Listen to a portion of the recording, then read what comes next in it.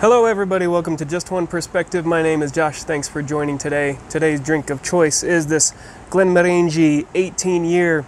I was gifted. Uh, it was gifted to me by a friend. Thank you so much. Cheers to you. It is so good. It's one of my favorite whiskeys of all time.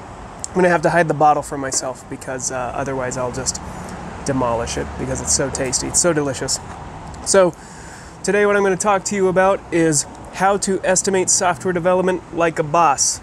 Now, when I say that, I'm not going to give you a lot of details and a lot of specific techniques on how to estimate your software development.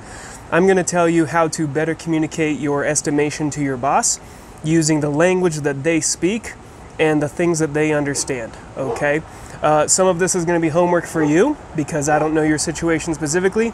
These are just some general tips and guidelines on how to estimate software development in a way that your boss will understand. Okay?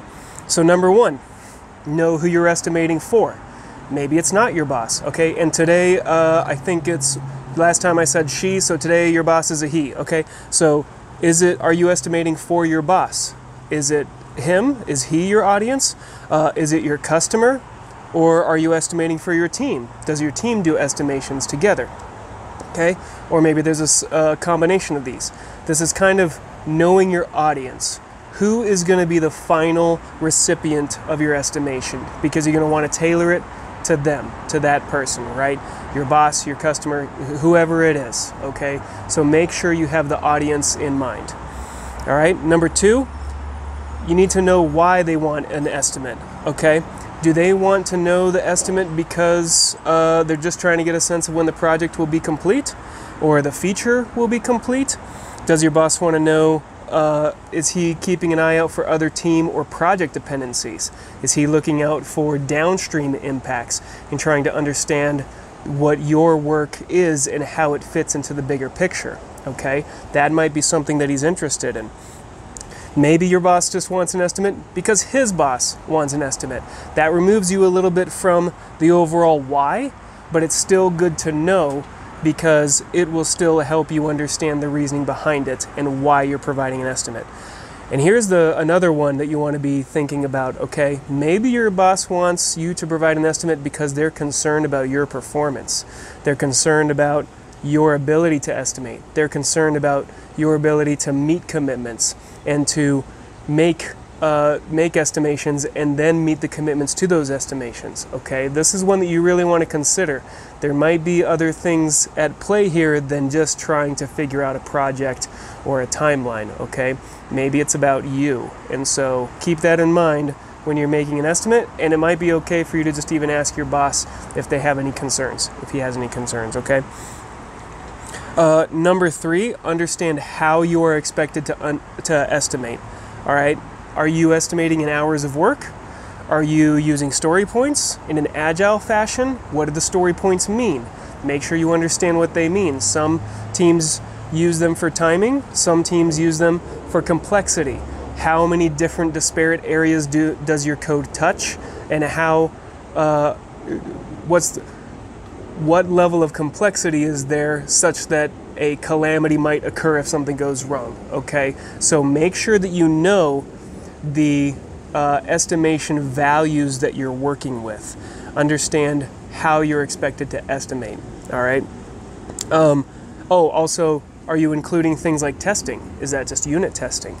Are you including documentation? Are you including anything that requires uh, other teammates or other teams in general? Or is it literally just what is uh, the amount of time or uh, effort that it will take for you to complete your part? Make sure you wouldn't understand all of that, okay? Now, when you've got all of this, you're going to pull it all together and you're going to assess the work to the best of your ability, right? Knowing all these things that you know. You're going to assess the work to the best of your ability. You're going to consider dependencies, right? You're going to consider integrations, environmental constraints. You also need to be honest with yourself. What is your level of uh, capability? What is your ability level at? And does that have an impact on the amount of time it's going to take? Are there things that you expect that you're going to need to learn to get up to speed in order to complete this body of work? Okay, and this is where it's more art than science, and your boss should know this. Your boss probably does know this. Your boss is not looking for perfection here, it's an estimate. Okay, so when you, or I should say, if you, I'm not going to assume that you've done this, but if you are asked to make an estimation and you start hemming and hawing about how complex it is and how difficult it is to estimate and how much you hate estimating, stop. Just stop it. That is the number one thing your boss hates to hear. Your boss wants you to go through these things, and I haven't even gotten to number five yet. Your, your boss wants you to go through these things, understand the audience. If you're complaining about having to estimate, you've already lost your audience. Boom.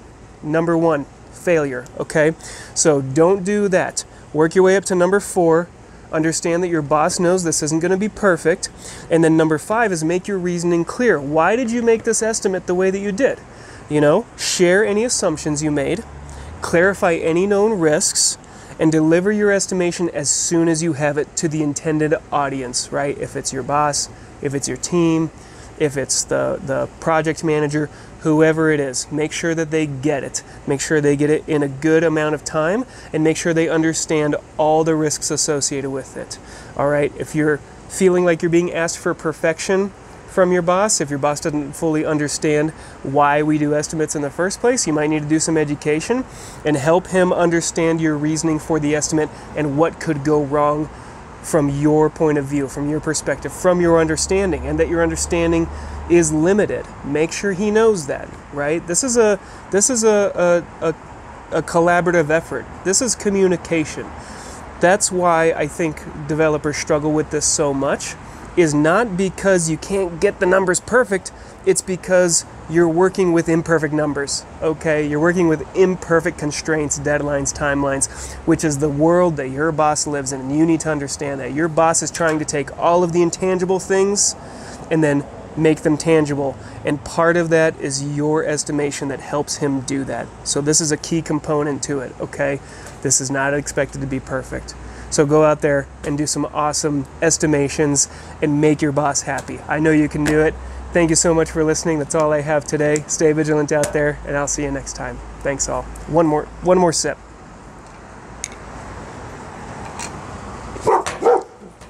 Perfect timing. Noise ordinance, Jarvis. Bye all.